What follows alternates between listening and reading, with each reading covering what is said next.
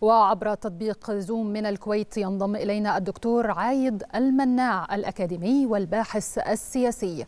يعني بعد التحية وخالص التعازي لشعب الكويت الشقيق في وفاة أمير البلاد الراحل الفقيد نواف الشيخ نواف الأحمد أرجابر الصباح. يعني كان سندا دائما لقضايا أمتنا وامتداد لاستقرار الكويت. كيف رأيت ذلك في مسيرة الراحل؟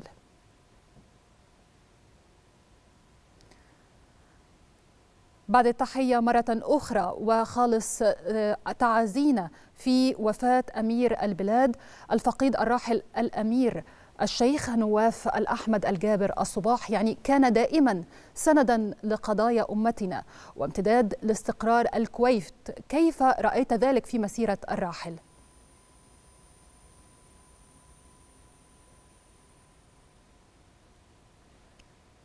دكتور عايد هل تسمعني؟ نعم نعم الحقيقة يعني شكرا جزيلا على الاستضافة وشكرا على التعزية ويعني مصر الغالية على قلوبنا كلنا بالتأكيد أنها تتألم نفس ألمنا الحقيقة الأمير الراحل كان مثالا للدماثة الأخلاقية العالية وكان نموذجا للتواضع والتسامي وكما دائما أنا أوصفه بكل اعتزاز بأنه التقي النقي الذي حقيقة هو رب الأسرة الفعلية كأسرة صغيرة بالنسبة له زوجته وأبنائه أو الأسرة الكويتية بشكلها العام.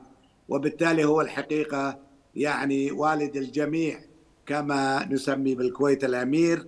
وبالتأكيد أيضا أن فقدنا برحيله شخصية غالية على قلوبنا ومحبين لها ومحبة لنا للأمانة. ورجل حقيقة خدم الكويت في أكثر من مجال من محافظ لمنطقة حولي التي كانت خليط من السكان الكويتيين وغير الكويتيين وبالذات الفلسطينيين من فترات الستينيات إلى التسعينيات. وأيضا فيما بعد وزيرا للداخلية في أوقات كانت حرجة الحقيقة تداعيات الحرب الإيرانية العراقية والكويت كانت ساحة من ساحات الحقيقة التصفيات التي كانت تجري. أيضا الحقيقة تولى وزارة الدفاع وعمل على إعداد القوات المسلحة الكويتية لتكون قادرة على الدفاع عن الكويت لأنه حقيقة دستوريا الكويت لا تشن هجوما. وإنما تكون دائما في حالة الدفاع. لكن طبعا حدثت الأحداث بخدعتها وأمورها التي معروفة للجميع وأدى ذلك إلى احتلال الكويت بالرغم من استبسال القوات المسلحة الكويتية. بعد التحرير الحقيقة تولى الله يرحمه إن شاء الله الشيخ نواف تولى منصب وزير الشؤون الاجتماعية والعمل وكان هو الرجل المناسب في ذلك الوقت لهذه المرحلة الصعبة بعد بالفعل يعني كان الفقيد الراحل الشيخ نواف الأحمد الجابر الصباح كان سندا دائما لقضايا أمتنا وامتداد لاستقرار الكويت كيف رأيت ذلك في مسيرته؟ طبعا الحقيقة كل حكام الكويت الأمانة على الأقل من الاستقلال إلى اليوم نهج الكويت هو مساندة قضايا الأمة العربية وتقديم كل أنواع الدعم الممكن للدول المواجهة كما كنا نسميها مصر وسوريا والأردن.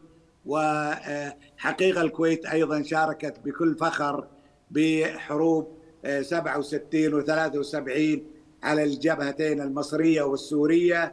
والحقيقة أيضا نذكر أن القوات المسلحة المصرية شاركت وبفاعلية في حرب تحرير الكويت. لذلك يعني ال يعني اللحمة العربية الأساسية أنه الكويت دائما مع القضايا العربية منظمة التحرير وحركة فتح على وجه الخصوص تأسست في الكويت. الشيخ نواف الحقيقة رجل يعني محب للأمة وحريص على مساندتها.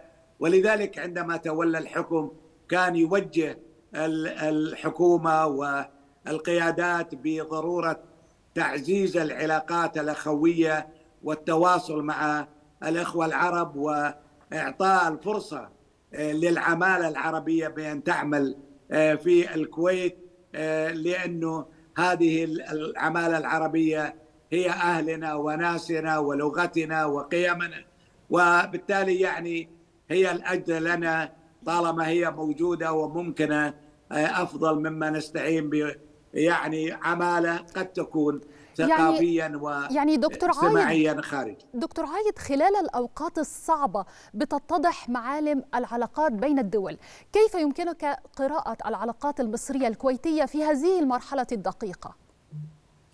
العلاقات الكويتية المصرية الحقيقة ليست جديدة بالمناسبة. يعني حقيقة على الأقل منذ عام 1961 يمكن قبل ذلك 1945 تم إنشاء بيت الكويت في القاهرة للطلبة الكويتيين والذين كانت يعني الجامعات المصرية الملجأ شبه الوحيد يعني بالإضافة إلى الجامعة الأمريكية في بيروت. وبالتالي يعني كانت هناك علاقات بعد الحقيقة استقلال الكويت تعرضت الكويت لتهديد من جارها العراقي في ذلك الوقت عبد الكريم قاسم. وكانت مصر الحقيقة بطليعة الدول التي تصدت والرئيس جمال عبد الناصر في تلك المرحلة الحقيقة يعني ساند الكويت وعلنا ووصف عبد الكريم قاسم بالمجنون وبالتالي قدم إسناد وأرسل قوات إلى الكويت ضمن الجامعة العربية وما بعد ذلك عملية الحقيقة الغزو وما ترتب عليها ومساندة مصر للكويت. وأيضا وقوف الكويت لجانب مصر في خلال حروب الحقيقة حتى يعني في عام 56 1956 الكويت لم تكن مستقلة كانت الحقيقة تحت الحماية البريطانية. ومع يعني بالفعل هي علاقات ممتدة لعقود هي نعم علاقة نعم أشقاء أخوية. بالفعل وتعازينا للفقيد. شكرا جزيلا لك الدكتور عايد المناع الأكاديمي والباحث السياسي. كنت معنا عبر زوم.